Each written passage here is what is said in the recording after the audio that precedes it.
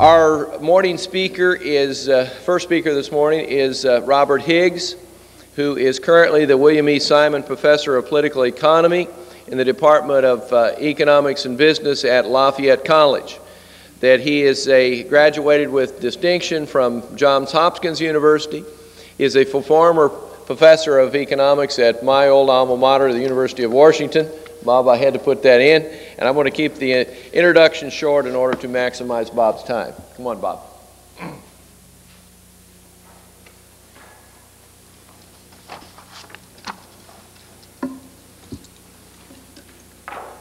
Thank you, Jim.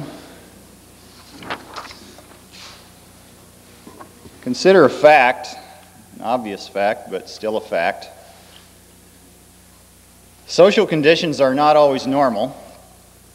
From time to time, national emergencies occur. They always have, and I imagine they always will. Given that fact, it's of some importance to consider the question can the Constitution protect private rights during national emergencies? The answer is no.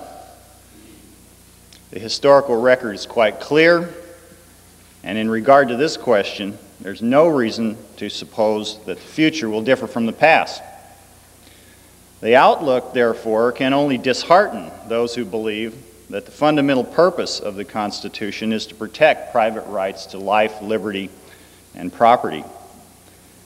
Founders of the United States established the Constitution, as they said, to secure the blessings of liberty to themselves and their posterity. But time and chance have been unkind to their hopes. They intended their framework of freedom and government to endure through the ages, through storm as well as sunshine. But the dead could not forever bind the living, and the unfolding of our history during the 20th century has brought into being a second constitution. Besides the normal constitution, protective of private rights, and we now have a crisis constitution, hostile to private rights and friendly to the unchecked power of governmental officials. In national emergencies, the crisis constitution overrides the normal constitution. The great danger, it seems to me, is that in an age of permanent emergency, which is, after all, the age we live in, and the age we are likely to go on living in, the crisis constitution will simply swallow up the normal constitution, depriving us at all times of the very rights the original Constitution was created to protect at all times. To present evidence uh, in support of this argument, I provide in the paper a survey, a very brief survey of some of the outstanding events and Supreme Court cases that I think uh, warrant the conclusion I've reached uh, what I provide is a, a, sample, not a random sample. Uh, in fact, it's selected uh, to contain some of the outstanding events and cases. Uh, but I would uh, add that it's by no means the whole body of evidence in support of my thesis. there are thousands, I would say, of additional pieces of evidence that might be brought to bear. And some of the sources given in the paper allow you to uh, pursue additional evidence uh, should you wish. I start with the railroad labor troubles of 1916 1917. Uh, in that case, the operating brotherhoods in the railroad industry uh, threatened a nationwide strike. And President Woodrow Wilson, uh, very anxious to prevent such a potentially catastrophic event, induced the Congress of the United States to pass the Adamson Act, the effect of which was simply to impose upon the employers and the employees in the industry a 25% increase in wage rates. The employers challenged the constitutionality of the Adamson Act, and the Supreme Court ruled in the case of Wilson versus New that the action was constitutional. In that case, the court had to confront whether emergency powers existed. It certainly appeared that the Adamson Act was the exercise of an emergency power. Uh, but the court ruled uh, that while the government had no emergency power as such, it did have a reservoir of reserved power upon which it might legitimately draw during emergencies. It was a, a nice distinction, not one that everyone appreciated, uh, including the dissenters in that case. Shortly thereafter, uh, after the declaration of war, conscription of soldiers was provided for. That too was challenged. Uh, never before had the Supreme Court ruled on the constitutionality of uh, the national draft. Uh, and in the draft law cases, uh, the court was unanimous.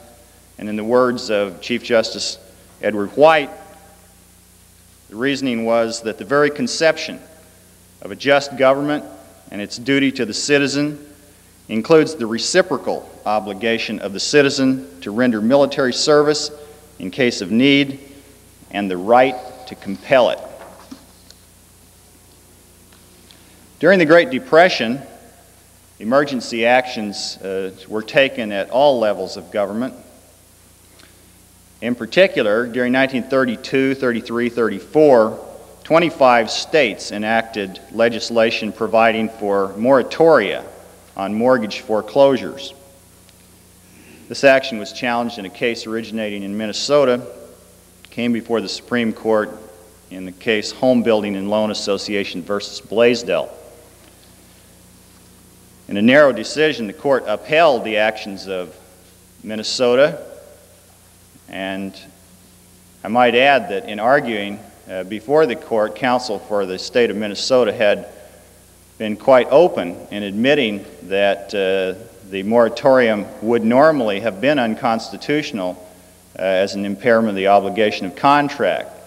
Uh, but Minnesota argued that uh, th these were not normal times, and so Minnesota should not be bound by the usual constitutional restrictions. Majority of the court agreed. As Chief Justice uh, Charles Evans Hughes says, the contract clause's protection of private rights quote, is not to be read with literal exactness. Also, in the Great Depression, the federal government abandoned the gold standard, nationalized the monetary gold stock, and abrogated the gold clauses of all contracts, public and private, past and future.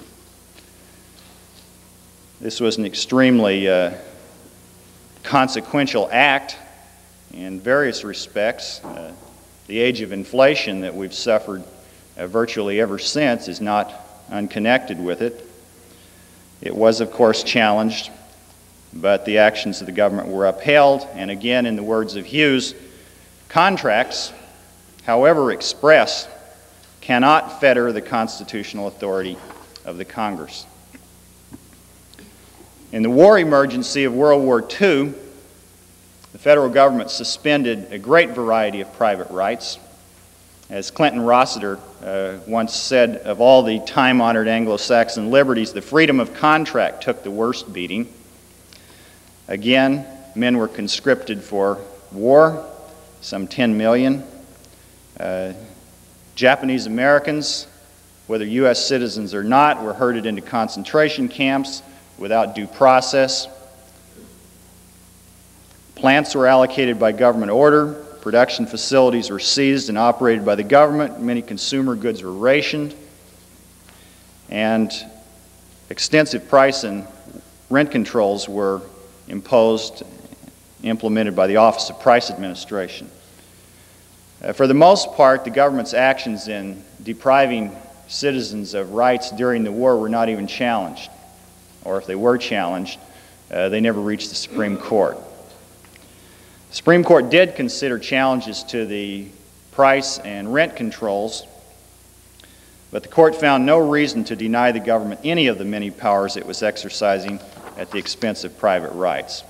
In the words of Justice Wiley Rutledge, citizens must surrender or forego exercising rights which in other times could not be impaired. Uh, that, I think, is a very clear expression of an emergency powers doctrine. Um, not everyone has recognized it as such.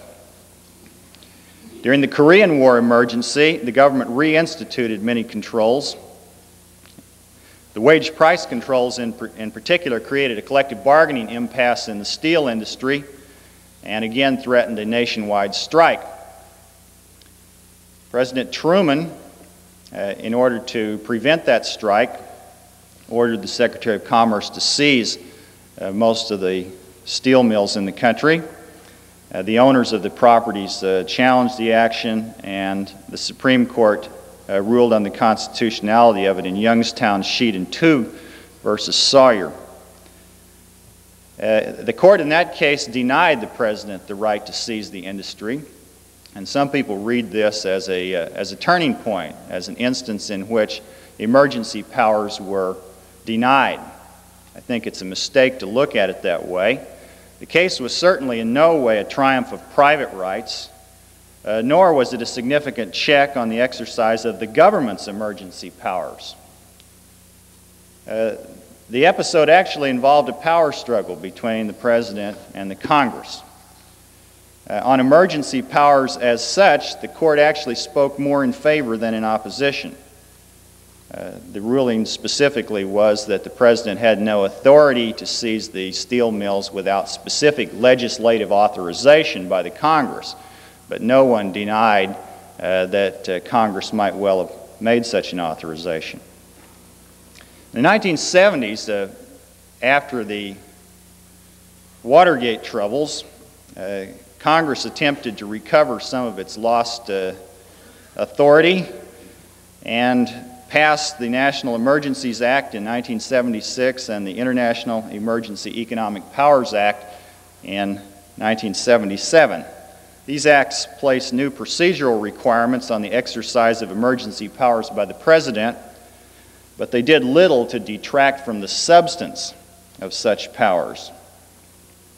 I don't think a great many people appreciate the extent to which declarations of emergency continue to be made and powers continue to be exercised under these declarations. Under emergency decrees, American citizens recently, and I mean within the last decade, have been forbidden to engage in a variety of travel, commercial, and financial transactions with the citizens or governments of designated countries, including Cuba, Iran, Libya, Syria, South Africa, Nicaragua. Recent Supreme Court rulings have sustained a wide scope for the exercise of presidential emergency powers.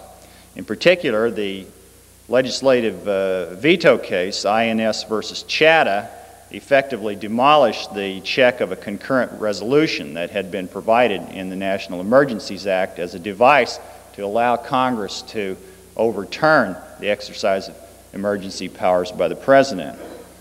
In 1981, the case of Dames and Moore versus Reagan, the court gave broad construction to the president's power to act under the uh, International Emergency Economic Powers Act, and it went further to say that uh, the president, even when he lacked statutory authority to take emergency action suspending private rights, nonetheless had constitutional authority to, for example, terminate the claims that American citizens had brought against uh, Iran in federal courts. An even more recent case, uh, Reagan versus Wald, 1984, uh, the court allowed a, an imposition of emergency controls on travel to Cuba uh, Uh, without a declaration of national emergency and without even compliance with the procedural requirements of the National Emergencies Act. The outcome of all these recent actions is that, that during the past decade, American citizens have been forbidden to travel to various countries, to borrow or buy from, lend or sell to the citizens or governments of various countries, to fulfill the terms of valid contracts, to pursue in U.S. courts legal remedies for injuries and takings, in other words, far from having their rights to life, liberty, and property upheld by the federal government, Americans have been routinely deprived of such rights under declarations of emergency. In attempting to understand uh, why the crisis constitution has arisen and how it operates, I think it's important to look at what I call three loci of the Constitution. There's been some discussion in the conference previously about uh, the distinction between the constitutional document and the so called living Constitution. Uh, most of what's been said seems to uh, have to do with whether there ought to be a living Constitution or not. I'm not concerned with whether there should be. Uh, but I, I make a distinction between three places that you might find the Constitution. One, of course, is the constitutional document. And if you look in, in that for uh, emergency powers, you won't find them. There's no mention of emergency powers in the document. Uh, if uh, the framers intended the government to exercise any different powers or to protect any different rights during national emergencies, they certainly neglected to mention that. Of course, uh, another notion of the Constitution is what Charles Evans Hughes said in a famous uh, statement that the Constitution is what the judges say it is. As to say, constitutional law tells us what the Constitution means. I think that's uh, inevitable. It's not a question of whether you, you want judges to interpret the Constitution or not. There isn't any choice. Uh, the Constitution has always been making law from the very beginning, and I frankly am a little puzzled by people who find that somehow in the 1960s the court suddenly became a lawmaking branch. It seems to me that the court has always been a lawmaking branch. The court has, however, been reluctant to pronounce a clear national emergency doctrine. Even in cases like Wilson versus New and Blaisdell, uh, the court took this curious position that there are no emergency powers uh, as such. It's just that there are these reserved powers that may be called into play during national emergencies. It seems to me that in constitutional matters, as in others, actions speak louder than words. A third place that you might look for the Constitution is, is neither in the document nor in the U.S. Supreme Court reports, but uh, around you. Ever since at least the time of Aristotle, there's been a notion of the Constitution that boils down to the Constitution is how governments act, it's how the polity operates. And I think there's a, this is a very important sense of what the Constitution is. I call this the constitutional system. It, it, it consists of the conglomerate of beliefs, behaviors, and institutions that actually determine the structure of governmental powers and private rights and the processes whereby these powers and rights are altered. Clearly, the, the crisis constitution is and, and has for a long time been an integral part of the American constitutional system. If you're going to make bets, uh, you had better bet that in the next national emergency, the federal government will extend its powers at the expense of private rights to life, liberty, and property. Well, let's think for a little bit about why the crisis constitution has evolved, why in each episode uh, the government has tended to suppress private rights, in the paper, I go through the same examples I gave a few minutes ago, and I ask in each case, might the outcome have been different? Can we imagine, for example, that the Supreme Court would have ruled differently? Now, of course, we can, we can imagine that. Uh, in human action, uh, nothing is uh, totally determined. But my argument is that when we consider the political realities and the prevailing crisis conditions in each of these episodes, it's extremely unlikely that the court would have ruled differently than it did. Consider, for example, the court's ruling on the Adamson Act, 1917. How did the court think about the consequences of ruling one way or another? Suppose the Adamson Act had been struck down. What would have happened? Well, everyone expected that there would be a nationwide railroad strike, and everyone expected that this would have disastrous consequences. The United States in 1917 was extremely dependent on the railroad transportation system. But that was not the end of it, by any means. Uh, the United States stood on the brink of war as the court was deciding Wilson versus New.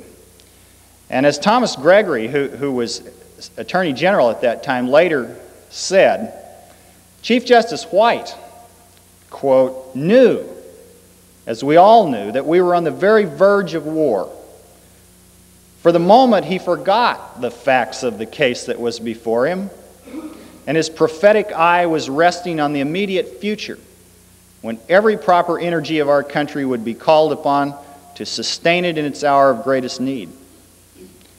Seems to me that the majority simply was not willing to issue a ruling fraught with danger to the military strength of the nation, no matter what the normal Constitution might require.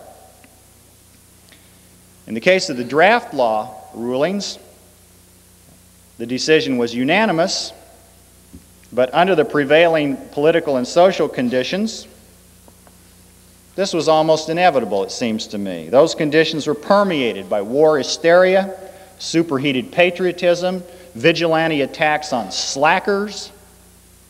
Men were being thrown into prison even for questioning the constitutionality of the draft.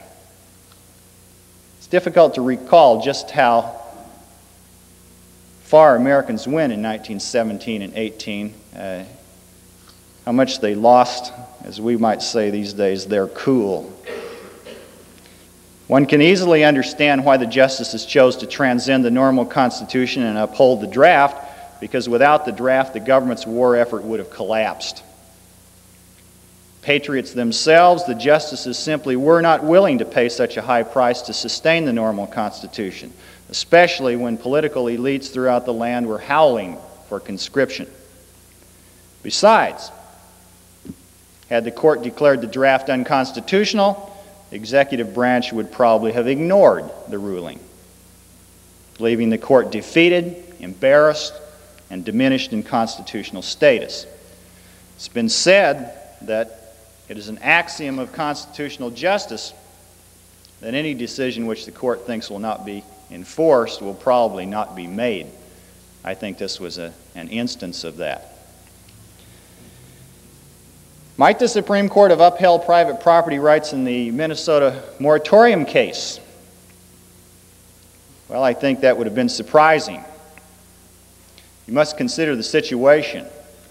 The farm economy was a shambles at the beginning of 1934. There had, of course, been an enormous contraction of real income, and in the farm sector, it had been disproportionately great. Farmers all over the country were going broke, losing their homes, uh, losing their properties. Uh, alternative opportunities were not very good in the event that they lost their farms. Uh, uh here and there across the country, farm violence had broken out. And, and spe- specifically in the state of Minnesota, the, the legislation putting a moratorium on mortgage foreclosures had itself been enacted under very ominous pressures from thousands of farmers gathered in the state capital uh, making threatening gestures. To strike down in January 1934 the mortgage moratorium laws already enacted at that time by 22 states would have risked setting off an explosion of farm protest and perhaps widespread violence forced to choose between upholding the normal Constitution and averting a potential social and political calamity, the majority decided to avert the calamity. The Gold Clause cases, I believe, presented the court with what amounted to an executive fait accompli. The government had taken possession of the nation's monetary gold stock. It had voided all, all contractual gold clauses and thereby prompted a multitude of changes in specific contractual performance. Was the court now to say that the government must return the gold coins and certificates to the millions of citizens who had surrendered them, and that all those who had paid legal tender instead of gold must turn around and pay the gold as initially stipulated in their contracts? Uh, clearly, such a ruling would have led to economic chaos. At least the court believed that it would, and counsel for the government argued that it would. And in addition to that, uh, the disruption of the admi- administration's monetary policy would have been brought about, and that policy was already some two years old. The court was simply unwilling uh, to be a party to the creation of such chaos. During World War II, the Supreme Court's virtual abdication again reflected a fait accompli by the legislative and executive branches. The political branches had created a full blown command economy, complete with conscription of soldiers, physical allocation of raw materials, confiscation of private facilities, controls of wages, prices, and rents, rationing of consumer goods, and a great deal more. Was the court deciding cases in 1944 after such policies had been enforced for years to say that they were unconstitutional? It's inconceivable. And in any event, it would have been futile. And the court knew that very well. The best it could do was to continue to go through the motions of judicial review, biding its time in anticipation of the return of normal conditions when the normal Constitution would reassert itself over the crisis Constitution and genuine judicial review would again become feasible. Events during World War II demonstrate in its clearest form what I call the logic of the crisis Constitution. It works as follows. When elites and masses alike believe that national emergency is upon them, that's not the same as national emergency actually being upon them, by the way. It's just that they believe it is. They call on the government to do something. The political branches, acting more or less autonomously, adopt policies. By their very nature, such policies entail costs, virtually all of which fall on non governmental people. The greater the costs, the more likely is public resistance. That's only a corollary to the economist's law of demand. In the extreme, public resistance jeopardizes the government implementing the policy. Anticipating resistance, governments take steps to conceal or obscure the costs of their policies. And one device invariably adopted is the substitution of command and control measures, which hide costs, for fiscal and market means of resource allocation which reveal costs. The necessary implication of this substitution is the attenuation or destruction of private rights, rights previously protected by the normal Constitution. In sum, the crisis Constitution, like the normal Constitution, rests on a broad ideological base. Public attitudes, values, norms, and expectations condition the structure and processes of governmental powers and private rights in both cases. In the 20th century, the American people have come to expect, tolerate, and in many instances demand that the normal Constitution be displaced during national emergencies. Governmental officials understand this public disposition and act accordingly, seeking their own objectives within the altered constraints. Conceivably, the dualism of our fundamental institutions could be unproblematical. That is, we could act according to the crisis constitution during national emergencies and according to the normal constitution at all other times. Some people actually assert that this is what has happened. I deny it. It seems to me that history has not conformed to that pattern at all. In fact, the normal constitution to which we revert after a national emergency is never the same as it was before the crisis. To some degree, aspects of the crisis constitution, as expressed in judicial interpretation and even more so in the constitutional system, are incorporated into the normal constitution. Such legacies mark the aftermath of both world wars and the Great Depression uh, there's not time today for me to uh, present an enormous amount of evidence for that claim, Uh, but in uh, about three months, my book, Crisis and Leviathan, will be in your bookstore, and I recommend that you all rush out and buy one to find the evidence for my claim. The upshot is that the normal constitution of the post World War II era has fully validated big government in the sense of an active, powerful, highly arbitrary government, far less restrained by the constitutional checks and balances of the old normal constitution, a system that once restrained the interventions, if not the ambitions, of governmental officials. Today, I think it's worth saying again, emergency powers as such continue to undergird the government's denial of numerous private rights, especially in relation to international travel, commercial, and financial transactions. Should a genuine national emergency arise, I have no doubt how the government will react. The private rights of Americans, I think, are balanced on a very thin constitutional edge, and a wide variety of crises, real or contrived, could easily knock them into oblivion. In conclusion, I ask can anything be done? And I regret that my answer is not a very optimistic. Effective protection of private rights against future governmental invasion under color of emergency seems to me extremely unlikely. The experience of the past decade, that is, the experience since passage of the National Emergencies Act, has shown that procedural safeguards are worthless. They make no difference in effect. Not much more hope can be placed in a reconstituted uh, Supreme Court. That is, the appointment of justices uh, favoring a return to the old normal Constitution. Even if such judges could be found and appointed, their resistance to the crisis Constitution could not have more than temporary effect in a national emergency. Before the fierce winds of adverse political actions and hostile public opinion, even the strongest court, sooner or later, will bend or break. Ultimately,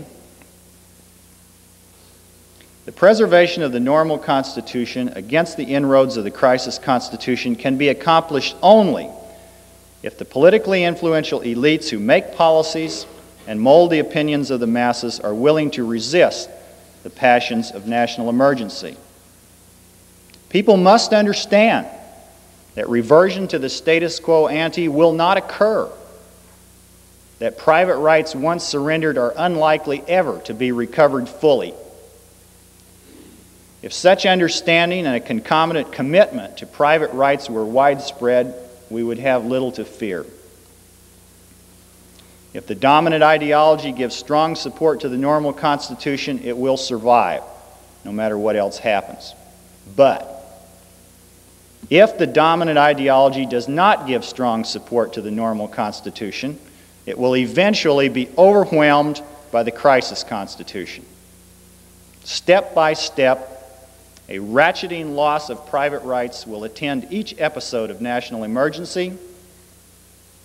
And we may as well admit, I think, that such emergencies are inevitable. It is to me inconceivable that life would be forever after normal. Unfortunately, elites and masses in the United States today, with only a few notable exceptions, have neither an appreciation of the ratchet process nor a strong commitment to private rights to life, liberty, and property. And therefore, I must sadly conclude that the most likely prospect is for further expansion of the crisis constitution and a corresponding loss of private rights. Thank you.